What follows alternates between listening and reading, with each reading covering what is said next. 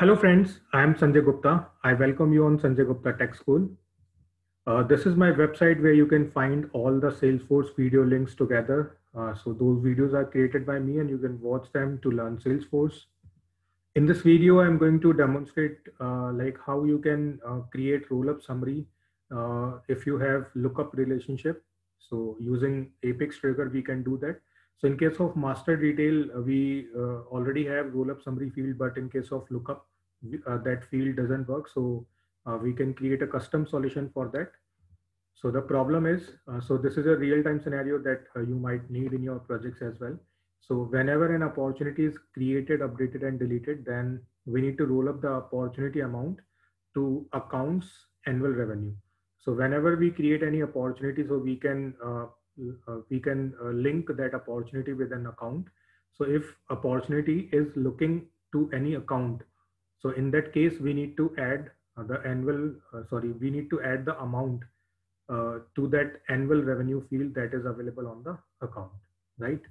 So this is our requirement. So here you can see uh, this is account and on account we have this annual revenue field and on opportunity if we see so So on opportunity, you can see this amount field is available. And if I open opportunity, so you can see uh, opportunity and account shares lookup relationship, right? So now uh, let me explain the code that you can implement. So there will be three scenarios, insertion, updation, and deletion. In all the cases, you need to uh, roll up the amount to uh, accounts annual revenue. So uh, this trigger should be written on opportunity because whenever you are inserting, updating, or deleting any opportunity, then this uh, operation should be performed. So all three events are available here. Then I check trigger dot is after. Then in insert, I'm calling on after insert. Then in update, I'm calling on after update, and similarly after delete. Uh, while we insert records, so trigger dot new uh, is available. Then on updation, trigger dot new and old map, and deletion trigger dot old. So this is trigger and through this trigger, I'm calling these three methods. Those are defined in this class, opportunity trigger handler. So this is the class uh, where I implemented all the uh, code. So here you can see uh, on after insert method is defined. So it is starting from here till here. So it is receiving new list. Then I'm iterating new list and fetching uh, opportunities one by one in OPP and if opp.account ID is not null, then I'm fetching the account ID into this ACC ID set, right? So this is created here. Then I'm calling this method calculate annual revenue and passing account IDs. And this method will be returning accounts to be updated. So we need to check if this is this list is not empty, then we need to update the account, right? So this is the first method that will work on uh, after insert. Then similarly, I created one more method for after update. So here you can see we have new list and old map, then uh, iterating new list, checking if uh, opp.account ID is not null and amount is changed. So this opp.amount is new version of the amount and through old map, we are getting the existing value. If both are mis mismatched, so that uh, we can have the account IDs, right? And rest of the things are same as we uh, saw in insert. So we are calling this method calculate annual revenue and passing the account IDs. Then third method is on after delete. It is also same, but the only difference is we are having old list instead of new list. So you need to iterate that. And if opportunity account ID is not null, then you can get the account IDs and you can pass those IDs into this uh, method calculate annual revenue. And if the returned list is not empty, then you can update the accounts, right? So this way, three methods are collecting account IDs. Now the main method comes here, uh, which is calculate annual revenue, which is receiving account IDs. So here I created one list accounts to be updated and a map account ID to annual revenue, which is of ID and decimal type. And here you can see this for loop. So it is important. So this for loop is doing what it is doing, it is querying all the opportunities where account ID is available in this set, right? So we already collected all the account IDs. Those are related to the opportunities. So if the opportunity is available, sorry, opportunity account ID is available in this set. So we are querying those opportunities so that we can uh, collect the uh, roll up value. So now here comes the map. So if map is containing the account ID, right, that is on uh, available on opportunity. So in that case, we need to get that value. So first time, uh, this if condition will be false because map is empty because we are having first opportunity. So uh, this map, uh, obviously it will be empty. So now uh, here you can see at line number 55, total is initialized with zero. And if opportunity amount is not null, then we are adding opportunity amount to total. And we are putting account ID and total into this map.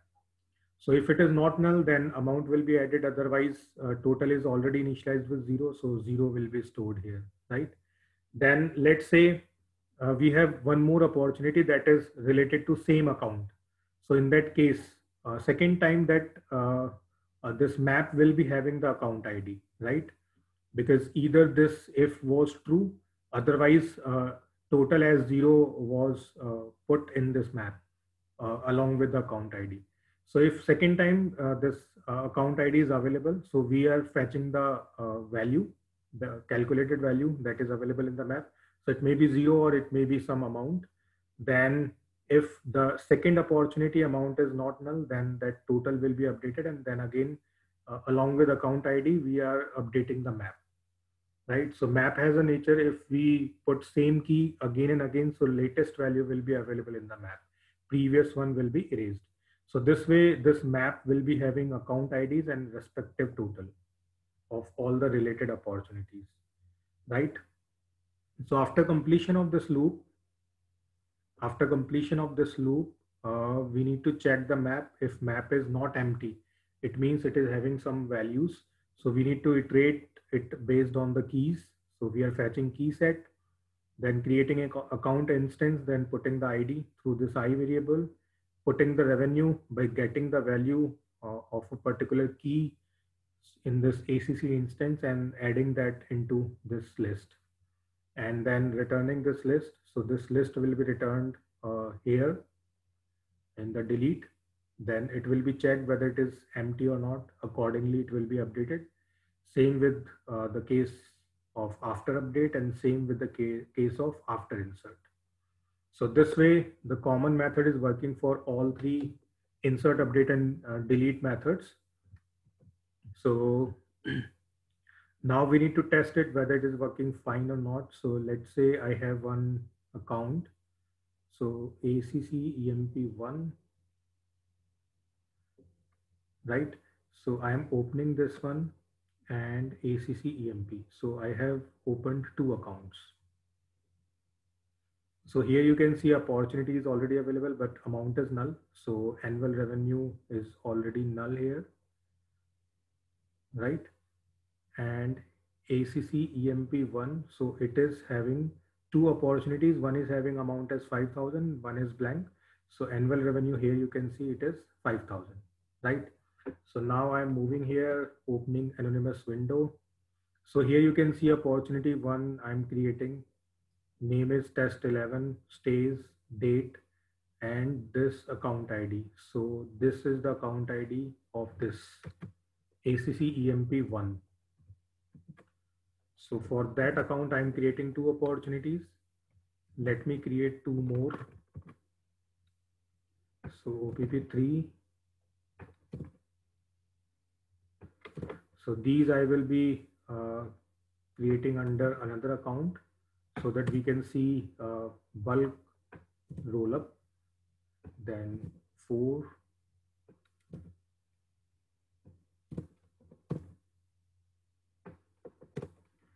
so now it is done.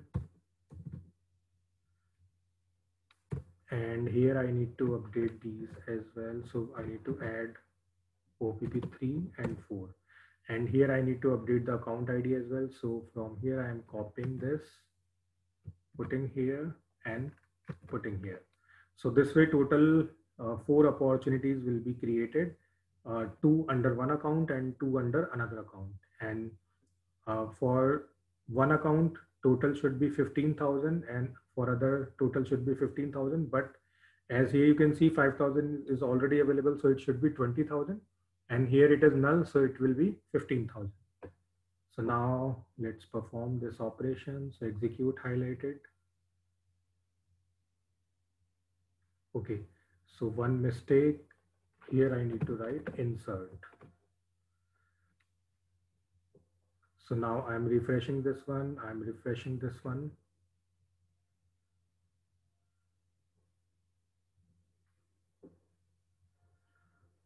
So on this one, you can see 15,000 is available and two more opportunities are created. One was existing and two are created here, right? And remember one thing, I use this null here. So exi if existing amount, uh, existing opportunity amount is null, so that uh, should not be calculated. If we uh, comment this and we directly use this OPP dot amount, so null pointer exception will be there. So this you need to remember.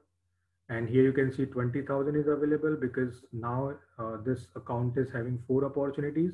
So 5,000 was earlier one and then five and 10,000 uh, two we created and one is having null. So this way insertion is uh, working fine. And let's uh, do one more operation. So now we need to uh, update the opportunities.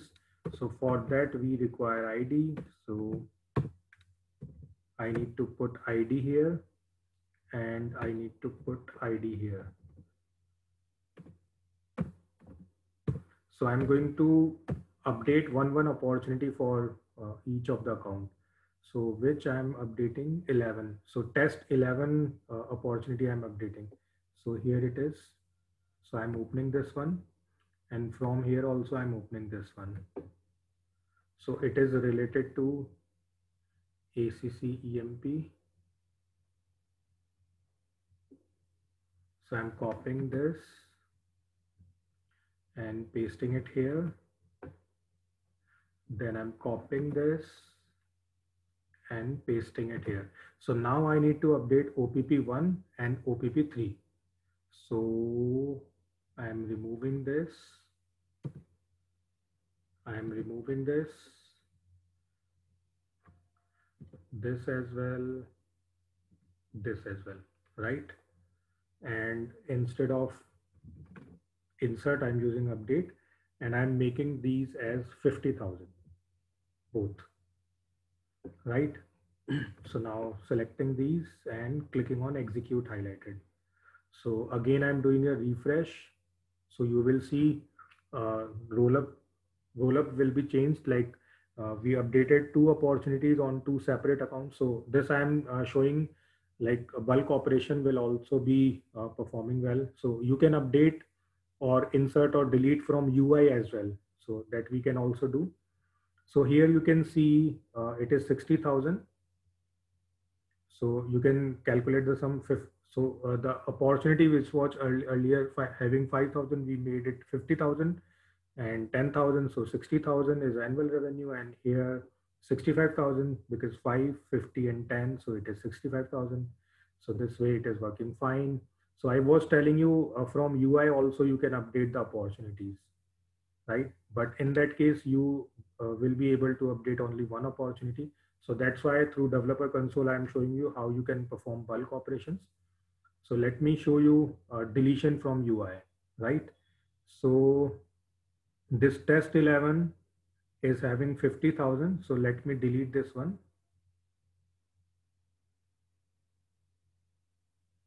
So it is deleted. Now I'm refreshing this account. So you will see uh, 60,000 will become 50,000. So these operations you can perform from UI as well, or uh, you can perform through developer console, or you can perform through data loader or data import wizard as well. So here you can see annual revenue is now 10,000 because one opportunity is deleted. So that's why roll-up is all automatically updated.